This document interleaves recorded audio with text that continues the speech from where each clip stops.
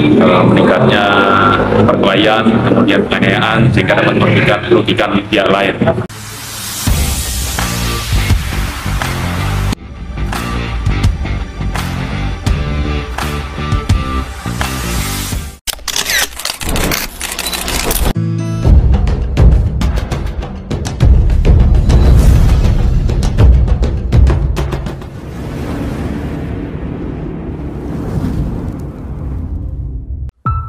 Menjelang Natal dan Tahun Baru atau Nataru dan memasuki tahun politik, tim patroli presisi Polres Palopo yang kemudian diberi nama tim Eagle Posisi Polres Palopo gencar melakukan patroli pada malam hari.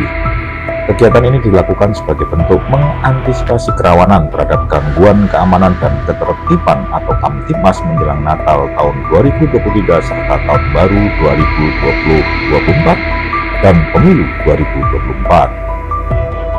Sementara itu Kapolres Palopo AKBP Syafi'i Nasikin mengatakan patroli malam hari tersebut dilakukan untuk memonitoring kegiatan masyarakat sekaligus mengantisipasi gangguan kamtimas di wilayah hukum Polres Palopo.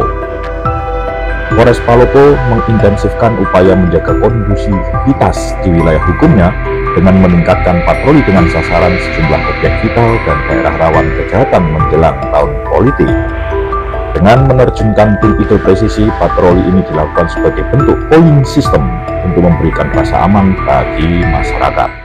Dapat kami eh, dengan giat yang ditingkatkan ini melalui kegiatan patroli yang dilakukan oleh tim Eagle dan jajaran patroli biru membawa minuman keras karena dampaknya akan eh, berakibat kepada eh, terjadinya gangguan kamtimas seperti eh, meningkatnya perkelahian, kemudian penganiayaan sehingga dapat merugikan, merugikan pihak lain.